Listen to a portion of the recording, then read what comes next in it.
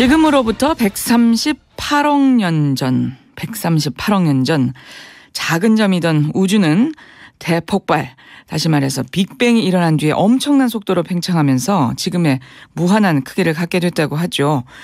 근데 이게 지금까지는 이론으로만 알려져 있었는데요. 사상 최초로 그 직접적인 증거가 발견됐습니다. 전 세계 과학자들도 흥분하고 있는데요. 어떤 의미가 있는 건지 전문가에게 쉽게 설명 들어보도록 하겠습니다. 충남대 천문학과 이태영 교수님 전화 연결돼 있습니다. 교수님 안녕하세요. 네, 안녕하십니까. 예, 정말 과학계가 떠들썩한데요. 네네. 이번에 발견된 빅뱅의 증거라는 게 도대체 얼마나 대단한 발견인가요? 네. 우리가 이제 우주를 생각할 때 우주가 얼마나 클까, 우주의 끝은 어딘가 이런 생각을 많이 했었죠. 예. 네, 과학자들은 우리가 보는 우주 너머에 더 큰 우주가 있을 거라는 생각을 막연히 하고 있었습니다.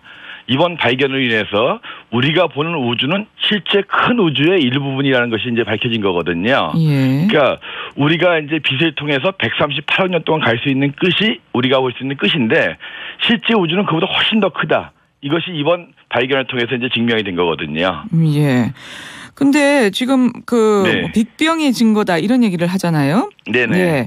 저희가 일단 뭐 빅뱅에 대해서도 좀 알아야 될 것 같은데. 네네. 예. 그러니까 저, 정확히 이야기하면 이제 빅뱅보다는 이제 그 급팽창이라고 하는 인플레이션의 증거인데요. 네. 좀 설명을 드리면 우주는 138억 년 전에 하나의 거대한 에너지 덩어리가 이제 대폭발을 일으키면서 만들어졌다라고 하죠. 예. 그것이 이제 빅뱅인데요. 그때 이제 폭발로 인해서 이제 우주가 팽창을 합니다. 팽창을 하면 점점 온도가 내려가겠죠. 예. 그래서 이 그때 나왔던 빛들이 138억 년 동안 식어가지고 영하 270도 이하의 아주 낮은 온도에 희미한 빛이 돼가지고 지구로 날아오고 있습니다. 그것이 이제 우주 배경 복사라는 거거든요. 예. 그래서 이 우주 배경 복사를 통해서 그것이 138억 년 전에 폭발했다는 걸 이제 알게 됐는데 그 빅뱅은 이미 1965년도에 이미 밝혀진 거고요. 근데 이번에 이제 그 우주 배경 복사라고 하는 빛을 면밀하게 조사해 보니까 거기에 엄청난 패턴이 있더라. 그것은 우주 빅뱅 초기에 순간적인 급팽창이 있었다는 거예요. 예. 그러니까 쉽게 얘기해서 눈에 안 보이는 먼지 같은 것이 태양계보다 더 갑자기 커진 거죠. 예. 빛보다 빠르게 순간적으로 급팽창을 일으켰다는 증거를 발견한 거거든요. 그걸 통해서 우리가 왜 그런지 모릅니다. 빛보다 빠를 수 없다는 게 우리의 상식이었는데 우주 팽창 초기에 엄청난 급팽창이 있었고 그걸 통해서 우주가 우리가 생각하는 것보다 훨씬 더 커졌다. 이것이 이제 그 급팽창 이론, 인플레이션 우주라는 이론이거든요. 예. 빅뱅에서 한 단계 더 나간 그래서 빅뱅은 단순히 폭발해가지고 팽창하는 건데 그거보다 훨씬 더 빠르게 팽창을 했고 우주가 실제보다 훨씬 더 크다는 것이 이제 급팽창 이론 요번에 발견된 이론입니다. 급팽창 이론. 예. 네네. 이것이 또 중요한 핵심이다 이런 말씀이신데요. 네네네. 예. 또 이번 발견의 에, 또 네. 중요한 의미 중에 하나가 중력파라면서요. 네네네네. 이- 이건 또 뭔가요? 그러니까 이제 중력파라고 하는 것은 이제 아인슈타인의 상대성 이론에서 나온 건데요.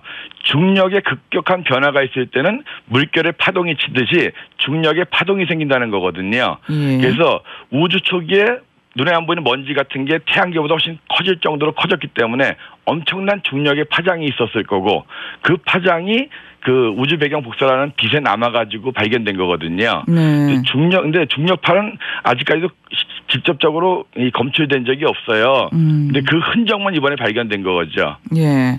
그러니까 어떤 실체가 있는 뭐 물체가 움직이면 그 물체 네. 주변에 그 시공간이 뭐 호수에 돌 던지듯 이렇게 동심원이 퍼져나가듯 움직인다 뭐 그런 그런 건데요. 예 그런 모양인가 보죠. 예. 중력이 워낙 약하기 때문에 네. 그 실제로 감지하기가 굉장히 어렵거든요. 예. 근데 우주 초기에 엄청난 급팽창이 있었기 때문에 예. 그때는 중력의 그 파가 엄청나게 크게 움직였을 겁니다. 예. 그 흔적을 갖다 발견한 거거든요. 예. 그러면 그 흔적을 통해서 뭐, 뭐 우주 빅뱅이 어디서 발생했는지 우주가 얼마만큼 속도로 팽창했는지 이런 게 다 계산이 가능해진다는 얘기인가요? 예, 그 중력파의 그 흔적을 통해 가지고 예. 우주 초기에 이게 어려운 얘기입니다. 10의 마이너스 35승초 이렇게 나오는데요. 아이고. 예. 0.00 해가지고 35번 한 다음에 1초 동안에 우주가 순간적으로 어, 먼지 하나가 뭐 태양계보다 클 정도로 10의 20승 이상으로 커졌다.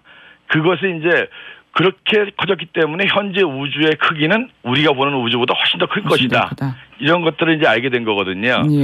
근데 이제 실제로 그게 왜 그렇게 일어났는가? 예. 그리고 실제로 빛보다 빠른 팽창인데 그것이 어떻게 가능한가? 이런 것들은 앞으로 풀어야 할 숙제입니다. 예. 아이고 뭐 머지, 머리가 어질어질합니다. 예, 많이도 그렇고요. 간단하게 생각하시면 예. 우주는 우리가 보는 우주보다 훨씬 더 넓다. 음. 그 넓다는 것을 이번에 이 관측을 통해 가지고 이제 증명됐고 알아냈다. 이 정도만 생각하시면 되겠습니다. 예. 근데 이 중력파를 찾는 게 그렇게 어려운 일이었나요? 우리가 중력파라고 하는 것은 그러니까 자연계의 심 중에서 가장 약한 심이 중력이기 때문에 중력의 파동을 찾는다는 건 굉장히 어렵습니다. 그래서 어, 중력파를 검출하기 위해서 이렇게 노력을 하고 있는데 실질적으로 아직까지 직접적인 검출은 된 적이 없어요. 음. 그래서 이번에 흔적만 발견된 거거든요. 예. 근데 중력파라는 게 자연계의 심 중에 가장 약한 심이기 때문에 정말 검출하기는 힘듭니다. 예.